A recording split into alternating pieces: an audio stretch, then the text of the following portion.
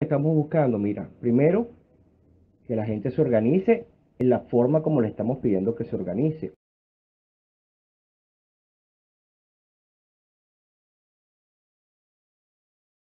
Mira, no, no tienes garantías, hermano. No es así de fácil. Lo que pasa es que ya a finales de este año, el año que viene, mira, no tenemos vida. Entonces, es trabajar en una forma, entre paréntesis, segura para generar una acción, una ofensiva, porque esto no es una protesta, se protesta contra algo que bien lo merite. No hay protestas contra la tiranía, las ignoran, no les importa. Esto es una ofensiva nacional donde los grupos que, estén coordinados, organizados, salgan de manera que den el ejemplo. Y, y los demás grupos alrededor se unan. ¿Qué es lo bueno? Mira, estamos trabajando nosotros y hay tres o cuatro grupos, incluso universidades, que, donde se está trabajando lo mismo.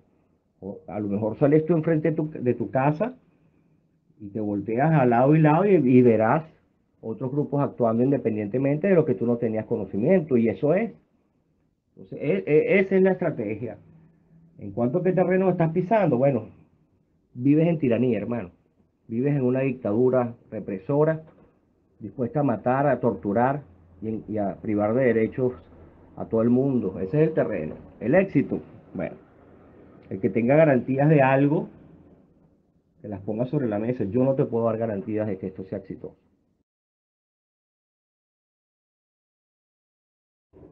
¿Para qué es esto? Mira, hay una efervescencia de, de insubordinación dentro de las fuerzas estas que llamamos públicas, principalmente la Guardia del Pueblo y la Policía Bolivariana. A esos tipos hay que ponerlos en un trabajo de remoción y apertura de, de vías durante un tiempo indeterminado. Mientras eso ocurre, el mismo, los mismos bloqueos le afectarán la logística a ellos. Y cuando estos tipos estén agotados o cuando comiencen a entrar en cierta rebeldía, que no pueden más, que qué es esto, que para, para, esto no están ellos ahí, sacarán el segundo componente que es la Guardia Nacional.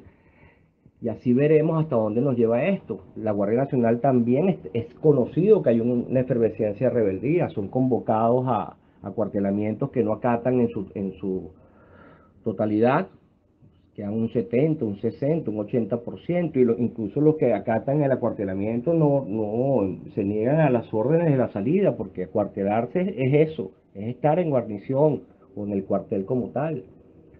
Mira, y a través de esas acciones lograr el vuelvan caras y que simplemente eh, decidan no seguir eh, soportando las órdenes de la tiranía.